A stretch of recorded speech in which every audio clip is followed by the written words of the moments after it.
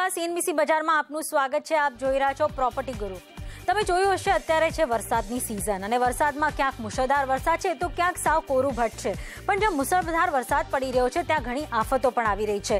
એટલે હું એવી આફતોની વાત કરી રહ્યું છું કે તમે અગર જૂના બિલ્ડિંગમાં રહેતા હો, તો એક તો લીકેજ થઈ રહ્યું છે, ક્યાંક તમને અમુક કાટમાળ પડતો દેખાઈ રહ્યો છે અને સૌથી મોટું ડિઝાસ્ટર છે તો છે કે આપણે ઘણી બધી જગ્યાએ જૂની બિલ્ડિંગોને પડતા જોઈ છે અને ઘણી જાનહાનિ પણ થતા જોઈ છે.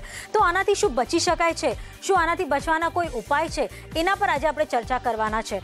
આજે આપણે જોઈ રહ્યા છે, મુંબઈમાં ઘણી બધી રીડેવલપમેન્ટ માટેની તૈયાર એવી બિલ્ડિંગો છે. કારણ કે વર્ષો વર્ષ જૂની બિલ્ડિંગો મુંબઈમાં છે. મુંબઈ જ નહીં, મુંબઈની બહાર તમે જો, બધા જ રાજ્યોમાં એટલી જૂની બિલ્ડિંગો હાજર છે, જેને અત્યારે તાત્કાલિક રિપેર કરવાની જરૂર છે, યા તો ડિમોલિશ કરીને નવું બાંધકામ કરવાની પૂરી જરૂરિયાત દેખાઈ રહી છે. એવામાં અત્યારે શું કામ આ કહી શકાય રીડેવલપમેન્ટ માટે કયા કઈ કારણો, કહી શકાય કે અડખડારૂપ છે, કયા પ્રોબ્લેમ કરી રહ્યા છે? આજે આપણે એના પર ચર્ચા કરીએ. આજે આપણી સાથે મેન્ડરસ પાર્ટનર્સના નૌશાદ પંજવાની જોડાઈ ગયા છે. નૌશાદજી, સ્વાગત છે. તો મેં જે રીતે કીધું, અત્યારે વરસાદ છે. વરસાદમાં યુઝ્યુઅલી બધા નવા ઘરે શિફ્ટ થતા નથી હોતા. પણ જે રહેતા હોય છે જૂના ઘરોમાં, એમને બહુ મોટી મુસીબત હોય છે, જે રીતે મેં અત્યારે કીધું. હાલના સમયમાં તમે જોયું હશે બે બે ત્રણ એવા ઇન્સિડન્ટ્સ થયા કે બિલ્ડિંગો પડી ગઈ, જાનહાનિ થઈ, અમુકમાં ઓછી જાનહાનિ થઈ. પણ છેલ્લે નુકસાન તો ત્યાં જે રહેવાવાળા છે, એમને થઈ રહ્યું છે. તો ખરેખર બિલ્ડિંગની ઉંમર કેટલી હોય છે? કારણ કે આપણે જોઈએ છીએ જે પાછલો ઇન્સિડન્ટ થયો એક્સિડન્ટ થયો જેને કહી શકાય એ સો વર્ષ જૂની બિલ્ડિંગ હતી. તો પણ લોકો ત્યાં રહી રહ્યા હતા. તમે ડોંગરીમાં જે બિલ્ડિંગ પડી એની વાત કરો છો ત્યાં ઘણા ઘણા ઘણું નુકસાન થયું છે એક જાન પણ ગઈ છે. અને એના પાછળ આપણે કારણો જોઈએ તો ઘણા બધા પર્સનલ કારણો હોય છે મેનેજમેન્ટના પણ તમે જેમ પૂછ્યું કે બિલ્ડિંગની લાઈફ કેટલી હોય છે તો આપણે આમ જોવા જઈએ તો આપણા આપણા દેશમાં કેટલા મંદિરો છે જે હજારો વર્ષ જૂના છે ને હજી ટકેલા છે ને આપણે એની લાઈફ જોઈએ છે. પણ એ ટાઈમનું બાંધકામ અલગ હતું. આપણે બ્રિટિશોનો બિલ્ડિંગ જોઈએ આ આપણા કફ પરેડ અને બલાડ એસ્ટેટ એરિયામાં જે જૂના બિલ્ડિંગો બનાવ્યા છે એ દોઢસો બસો વર્ષ જૂના બિલ્ડિંગ છે હજી ટકેલા છે ને સારા સ્ટેટમાં છે. પણ આપણે એક થમ રૂલ લેવા જઈએ તો એમ કહી શકાય કે જૂના પથ્થરોના જે બિલ્ડિંગ બનેલા એની લાઈફ સો વર્ષને ઉપર ગણી શકાય બિકોઝ એમનું બહુ જ સોલિડ બાંધકામ હતું. એન્જિનિયરિંગ ડિઝાઇન બધી રીતે બહુ ફર્સ્ટ ક્લાસ મટીરિયલ જે રીતે વાપરતા હતા. એ મટીરિયલ આજકાલ વપરાતા નથી. એટલે આપણે આરસીસી બિલ્ડિંગો બને છે. જે આરસીસી બિલ્ડિંગ બને છે એમની ડિઝાઇન અને આપણે હાઈ રાઇઝ જેમ બનાવતા જઈએ એની જે હિસાબે ડિઝાઇન લઈએ એનો પચાસથી સિત્તેર વર્ષની એક લાઈફ હોય છે.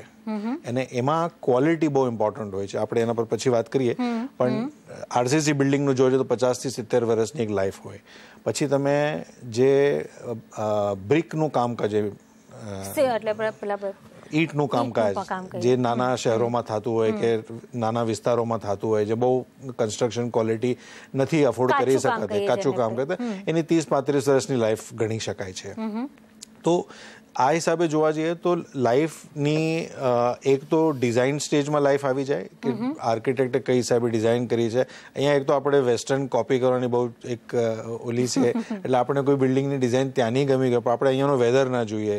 એ ડ્રાય એરિયામાંથી દુબઈમાંથી લાવ્યા હોય અને અહીંયા આપણે ભેજવાળી વેધરમાં એ ડિઝાઇન લાવીએ એનું પ્રોપર ડિઝાઇન ન કર્યું હોય કન્સ્ટ્રક્શન મટીરિયલ બરાબર ના વાપર્યું હોય તો જે સિત્તેર વર્ષ હોય એના કરતાં બી ઓછી થઈ જતી હોય. તો એક ઈ છે. અને પછી જે છે કે બિલ્ડિંગની લાઈફ પણ આપણે મેન્ટેન કરવાની છે. સિર્ફ બાંધીને એમાં રહેવા જવાથી ન થતું હોય. એને આપણે મેન્ટેન કરવું પડે છે. જેમ તમે ગાડી લો છો એની સર્વિસિંગ કરાવો છો પછી પિરિયોડિકલી એનો પાર્ટ ચેન્જ કરતા જાઓ છો તો અને છતાં બી ગાડી એક છેવટે ખકડી જાય છે આખી.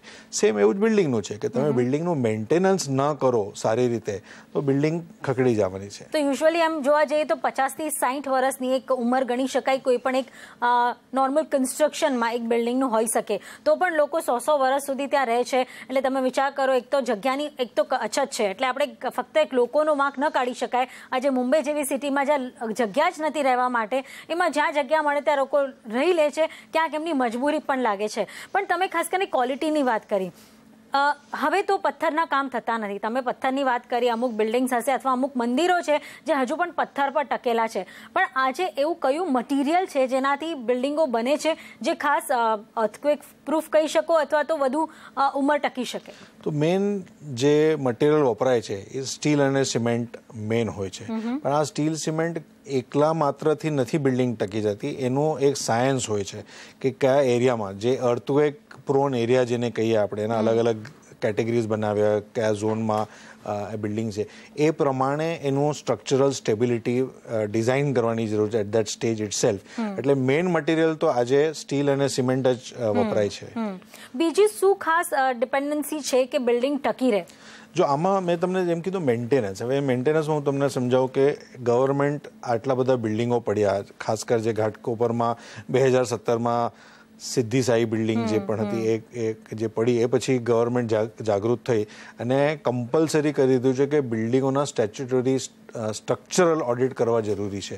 હવે એ ત્રીસ વર્ષથી જૂની બિલ્ડિંગ હોય તો એમને દર પાંચ વર્ષે ત્રણ વર્ષે સ્ટ્રક્ચર ઓડિટ કરવાની કમ્પલ્શન થઈ ગઈ છે. એટલે મેનેજિંગ કમિટી હોય એના ઉપર જિમ્મેદારી નાખી છે. અને જો ઓફિસ બેરર્સ આ જિમ્મેદારી ન નિભાવે તો એમના પર પેનલ્ટી પણ બહુ ભારી છે અને એ ધ્યાન રાખવાની જરૂરત છે. તો પહેલા તો આપણે સ્ટ્રક્ચરલ ઓડિટ કરાવીએ. સેકન્ડલી મેન્ટેનન્સ જે છે ને લોકોના માઇન્ડમાં એવું હોય કે દસ એક વર્ષે આપણે લાલી લિપસ્ટિક કરી દીધી તો એને મેન્ટેનન્સ એકચ્યુઅલી મેન્ટેનન્સ આપણે જોઈએ તો રોજે રોજની મેન્ટેનન્સ હોય છે. તમે બિલ્ડિંગમાં સાફ સફાઈ ન રાખો તો બિલ્ડિંગની ક્વોલિટી બગડવાની છે. સડન આવે જીવજંતુ આવે એનાથી બધું આપણે એમ ધ્યાન ના આવે પણ ઇલેક્ટ્રિક વાયર છે પ્લમ્બિંગ મટીરિયલ છે ઘણા બધા અધર પાર્ટ્સ જે હોય છે એ ચવાઈ જાય બગડી જાય ઓલું થઈ જાય. તો એટલે ડે ટુ ડે સફાઈ અપાર્ટ ફ્રોમ હેલ્થ આપણે બિલ્ડિંગની એટલે ઘરની સફાઈની સાથે સાથે બિલ્ડિંગની સફાઈ પણ એટલી જરૂરી છે. કમ્પાઉન્ડ જે છે આ બધાની સફાઈ કરવાની જરૂર છે. ટાંકી તમારી હોય નાળું હોય ટાંકી હોય બધું ક્લીન કરવાની જરૂર છે. તો આ તો day to day day to day થઈ ગયું. પછી તમારી બિલ્ડિંગમાં કયા મટીરિયલ છે? જો તમે વુડ વર્ક બહુ હોય કે તમારી ફ્રેમ્સ હોય કે તમારા જે વુડન સ્ટેપ્સ હોય તો આને દર વર્ષે એકવાર ચેક કરવાની જરૂર છે અને એને પોલિશ કરવાની જરૂર છે જેનાથી એની લાઈફ વધે. અને જ્યાં વુડ અને સિમેન્ટ ફ્યુઝ થતું હોય ત્યાં ક્રેક્સ થવાના ચાન્સીસ હોય એટલે ત્યાં આપણે ખાસ જોવાની જરૂર છે કે એને મેન્ટેનન્સની જરૂર છે કે આ વર્ષે વર્ષે કરવાની જરૂર છે. પછી તમારું ઇલેક્ટ્રિક છે પ્લમ્બિંગ છે આ બધું જે છે એક બે પાંચ વર્ષે તમારે ચેક કરવાની જરૂર છે કે ક્યાંક ક્લોગ થઈ ગયું છે બગડી ગયું છે તાર ખરાબ થઈ ગયા છે. તો આ તમારે ચેક કરવાની જરૂર છે. પછી તમારે બિલ્ડિંગને દર પાંચ વર્ષે એકવાર તો કલર કરવો જ જોઈએ. એનાથી તમારા જેટલા સીલન્ટ લગાડે એટલે જે નાના નાના ક્રેક્સ હોય એ પુરાઈ જાય એટલે પાણી અંદર લીક ન થાય. અને પછી દર દસ વર્ષે તમારે આખું પ્લાસ્ટરિંગ એ એને વોટરપ્રૂફિંગ એ ચેક કરવું પડશે કે એમાં જરૂરત છે કે નહીં. બિકોઝ પ્લાસ્ટર આ બહાર છે એની અંદર જે સિમેન્ટ સ્ટીલના પાર્ટ છે એ જો ચવાઈ ગયા હોય રસ થઈ ગયા હોય. તો તમે દરિયાની બાજુમાં રહેતા હો તો એ જો સડી જાય તો આખું સ્ટ્રક્ચર લૂઝ થવાની જરૂર છે. બીજી એક ચીજ છે કે આપણે બિલ્ડિંગમાં અંદર ઘરની આપણે બહારથી તો બધું કર્યું પણ અંદરથી જે એનો ગેર વપરાશ થાય છે એ પણ સોસાયટીએ ઘરની અંદર જેને ચેક કરવાની જરૂર છે. કોઈ એવા કોઈ ચેન્જીસ કર્યો હોય જેને બિલ્ડિંગની સ્ટ્રક્ચરલ જેમ કે લોડ બેરિંગ હા એટલે કે ડેવલપરે તમને ઘર આપ્યું છે ચાર દિવાલો આપી છે પણ એને તમે બાલ્કની વધારવાની કોશિશ કરો અથવા તોડીને આખું સ્ટ્રક્ચર ચેન્જ કરવાની કોશિશ કરો તો એ કદાચ નુકસાનદાયક બધા એન્ક્લોઝ કરી જ નાખે છે. હવે એનું ચલો કરી નાખે છે બાજુ પણ એની સ્ટ્રક્ચરલ સ્ટેબિલિટી છે કે નહીં? કે એ જે છજ્જા જેવું બનાવ્યું હોય ત્યાં એની સ્લેબની સાથે કનેક્ટેડ છે નથી છે શું છે? અમુક જણ છે બાર બારીની ઉપર જે છજ્જા આપ્યા હોય એને કવર કરી નાખીને એના ઉપર સામાન મૂકે અથવા રૂમમાં કન્વર્ટ કરી નાખે. એની સ્ટ્રક્ચરલ સ્ટેબિલિટી નથી. અને એના પર જે વજન આવે એના લીધે જે મેઇન સ્ટ્રક્ચર છે એને ક્રેક્સ પડવાના ચાન્સીસ છે. ક્રેક્સ પડે એટલે અંદર પાણી જાય પાણી જાય એટલે પાણી તમારે ત્યાંથી જાય તો આખી બિલ્ડિંગમાં નીચે ક્યાંક ક્યાંક વયું જતું હોય. અંદર વધતા દેખાય છે. બહુ જ મોટો પ્રોબ્લેમ થાય. જ્યાં પણ તમે ઇલીગલ કન્સ્ટ્રક્શન કર્યું હોય એક્સટેન્શન કર્યું હોય ત્યાં લીકેજીસ થવાના હંડ્રેડ પર્સન્ટ ચાન્સ છે. એટલે આ તમારે મેઇન ધ્યાન રાખવાની જરૂરત છે.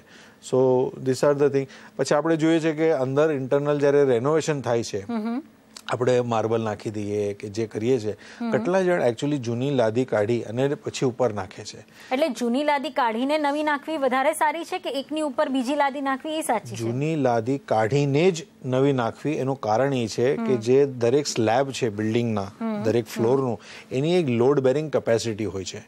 તમે એના ઉપર આટલા હજારો કિલોનું તમે નવી લાદી નાખો તો એના પર તમે વજન એટલે દરેક ફ્લોર પર વધે તો બિલ્ડિંગનું જે સ્ટ્રક્ચરલ સ્ટેબિલિટી છે સ્ટ્રેન્થ છે એને તમે હલાવી નાખો છો.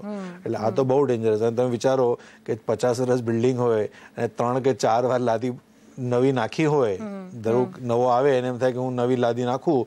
તો તમે જોશો તો છ થી આઠ ઇંચ ઉપર નવ ઇંચ જેટલું તમે ઉપર લો છો એટલે આટલો મલબો જેને કહીએ લોડ તમે વધારો છે.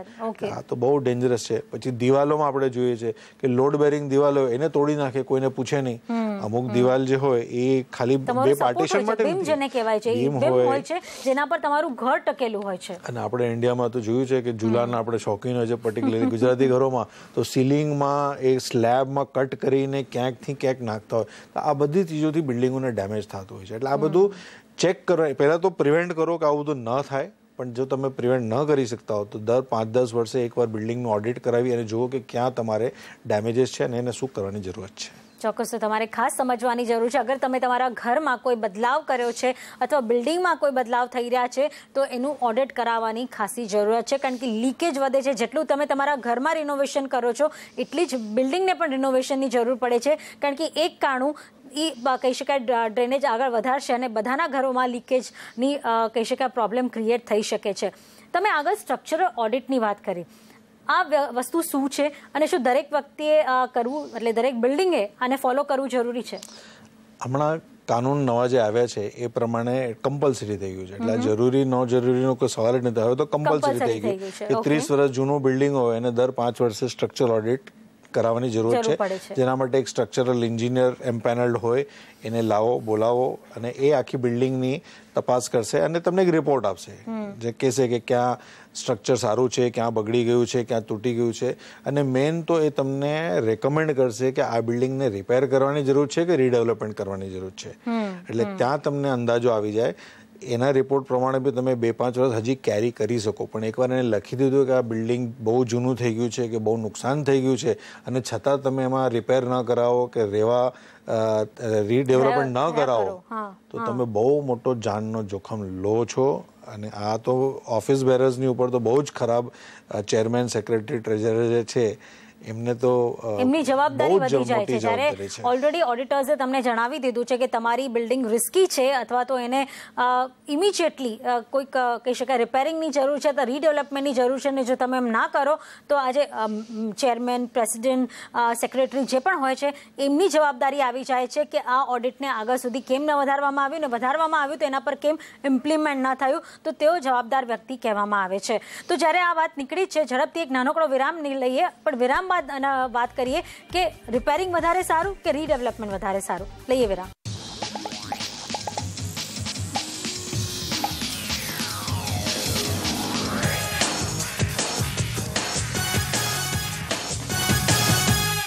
તો વિરામ બાદ સ્વાગત છે. વિરામ પર જતા પહેલા આપણે ચર્ચા કરી રિપેરિંગની કેટલી જરૂરિયાત છે બિલ્ડિંગને અને મેન્ટેનન્સ કેટલું જરૂરિયાત છે બિલ્ડિંગ માટે. તો જ્યારે આપણે મેન્ટેનન્સની વાત કરીએ છીએ ત્યારે હાલમાં તમે જુઓ તો મુંબઈમાં જ કેટલી બધી એવી બિલ્ડિંગો છે તે પચાસ સાહીઠ સો વર્ષ જૂની છે. તો એમને રિપેરિંગ કરવું કે રીડેવલપમેન્ટ કરવું? બંનેમાંથી કઈ વધુ પ્રિફરેબલ થિંગ હશે? જો આમાં ટેકનો કમર્શિયલ બંને કારણ આવે છે. અને એક મારા હિસાબે હું જે રિયલ એસ્ટેટમાંથી છું એમ એક સોશિયલ એંગલ પણ આવે છે. ત્રણ એંગલનો આપણે એક મળાવીને જવાબ લેવાની ટ્રાય કરીએ. કે જ્યાં બિલ્ડિંગ જૂનું થઈ ગયું છે જ્યાં રિપેરિંગનો ખર્ચો આટલો આવે છે કે જે સોસાયટી મેમ્બર છે એને બર્ડન લાગે.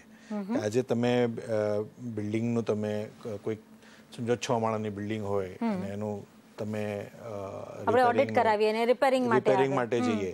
તો નાનો સોનું રિપેરિંગ છે કરીને ચલાવી શકાય કરી શકાય. પણ અમુક વાર બહુ જ મોટો કે જ્યાં સ્ટ્રક્ચરલ બીમ અફેક્ટ થઈ ગયા છે કોલમ અફેક્ટ થઈ ગયા છે અંદર છજ્જા નીચે યુ ફ્લોર નીચે આવી જાય છે. બેથી ત્રણ ઇંચ નીચે આવી જાય છે. એટલે જે સરિયા છે એ વળી ગયા છે. એટલે આ બધું ટાઈપનું જે હોય છે એનાથી તમને ખર્ચો તમને બહુ વધારે આવશે. પણ કોઈ પણ જૂની બિલ્ડિંગ જે હોય એને આવા ટાઈપના હોય એને ખર્ચો કરીને પણ તમે એક અમુક ટાઈમ સુધી ટકાવી શકો એને તમે લંબાવી શકો પણ એને તમે અવોઇડ નથી કરી શકતા. હવે આ પ્રોબ્લેમ વયો ગયો. પાંચ વર્ષ જે ગેરંટી તમને કોન્ટ્રાક્ટર આપે એ જ તમારી બિલ્ડિંગની લાઈફ ગણવાની. તો તમારે એ કેલ્ક્યુલેટ કરવાનું છે કે ખર્ચા થયા એની સામે તમને કેટલી લાઈફ વધારે મળે છે. હવે આ તો થઈ ગયો ટેકનિકલ વેરી સિમ્પલ છે કે તમે જો બીજી ચીજ છે કે તમે જૂની ચીજ પર કેટલો ખર્ચો કરશો. રાઈટ બરોબર કારણ કે રિપેરિંગ માંગ્યા કરશે. તમે જેટલો ખર્ચો કરશો.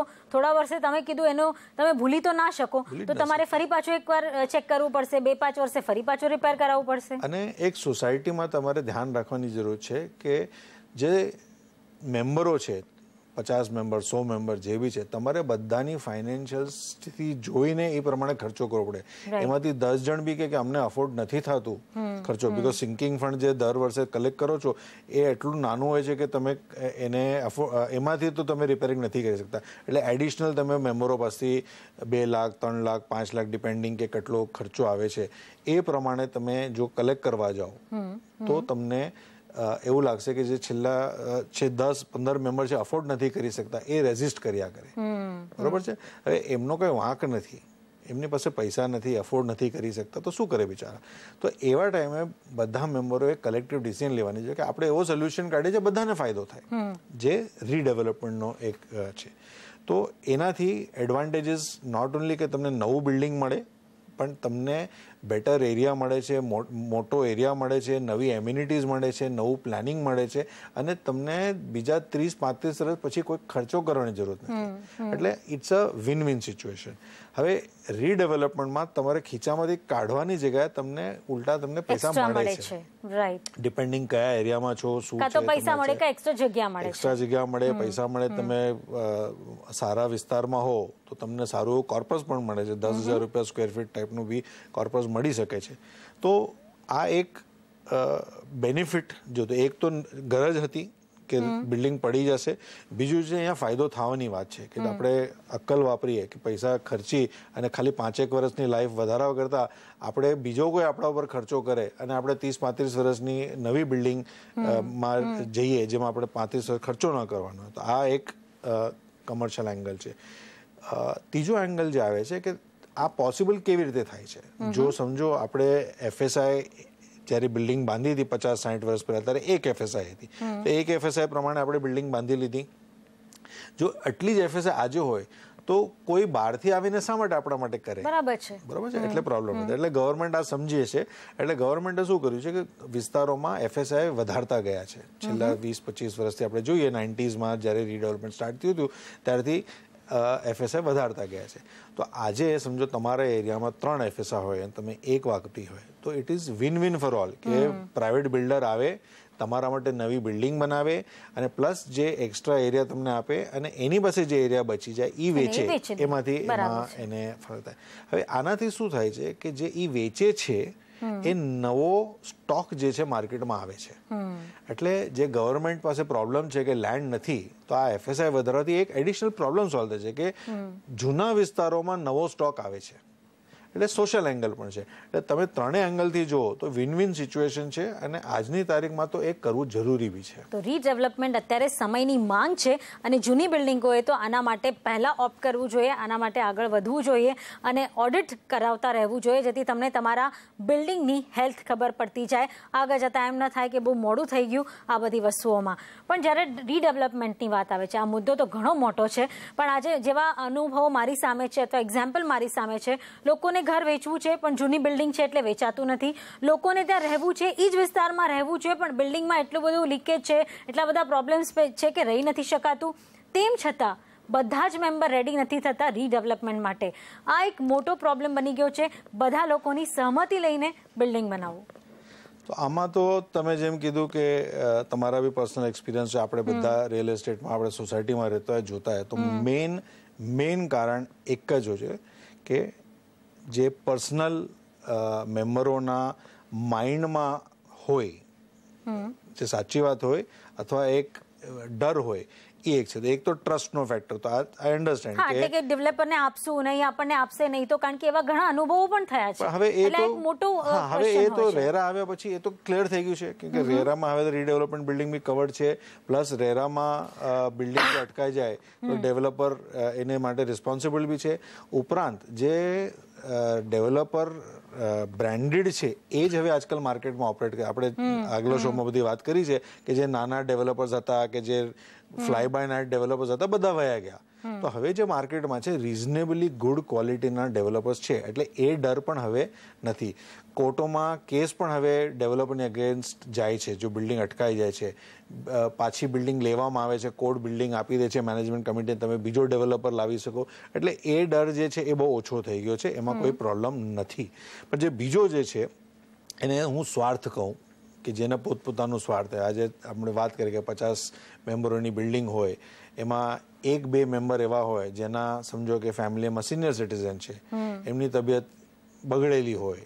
હવે એ શું વિચારતા હોય કે આપણે બહાર જશું તો હવે આ સિનિયર સિટીઝનને તકલીફ થશે. એના કરતાં અહીંયા જ રહીએ. હવે આ કારણ ના આપે. ના ના આપણે નથી કરવું. રીડર આ ચોરી થઈ જશે આ બિલ્ડર ખરાબ છે આ છે ઓલો ઓલ રીઝન્સ પણ આપણને એન્ડ ખબર છે કે રીઝન શું છે. સેકન્ડ શું છે કે વેસ્ટેડ ઇન્ટરેસ્ટ કે મારો ડેવલપર આવે કે તારો ડેવલપર આવે.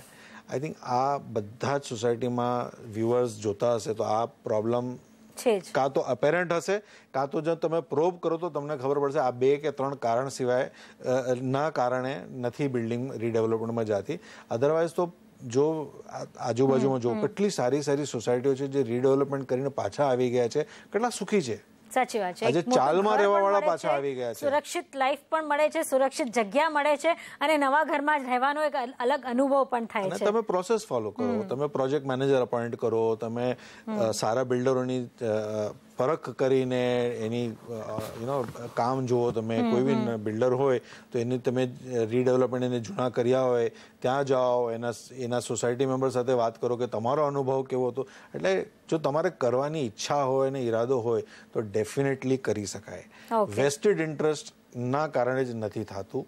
એના ચોક્કસ. આના ઉપર આપણા એક વ્યુઅર પણ આપણી સાથે જોડાઈ ગયા છે. એમનો અનુભવ પણ જાણીએ અને એમના સવાલોનો ઉકેલ પણ મેળવીએ. આપણી સાથે અમિતભાઈ જોડાયા છે. અમિતભાઈ રાજાણી જી પૂછો અમિતભાઈ સવાલ. મારે સેલ્ફ ડેવલપમેન્ટ માટેનો સવાલ છે. Redevelopment self development development self redevelopment જી, બોલો. સેલ્ફ રીડેવલપમેન્ટમાં ગવર્મેન્ટ બિલ્ડર કરતા શું બેનિફિટ એક્સ્ટ્રા આપે છે? અને સમજો જે બેનિફિટ આપે છે તો સોસાયટીની કમિટી મેમ્બર અમને પાસ ઓન નથી કરતી. તો એની માટે શું કરવું? અચ્છા તમે કયા સિટીની કયા વિસ્તારની વાત કરો છો? મારે દહીસર વિસ્તારમાં દહીસરથી વાત કરું છું સેલ્ફ ડેવલપમેન્ટ માટે. અમારું બધી પ્રોસિજર ચાલુ છે પણ અમને કઈ બેનિફિટ આપતા નથી અને ગવર્મેન્ટે કઈ સેલ્ફ ડેવલપમેન્ટ માટે કઈ એક્સ્ટ્રા બેનિફિટ આપી છે. ઓકે જાણી લઈએ. સેલ્ફ ડેવલપમેન્ટ શું હોય છે? જો આમાં બેસિકલી કોઈ સમજો લેન્ડ કોઈનું હોય ખાલી લેન્ડ હોય બરોબર?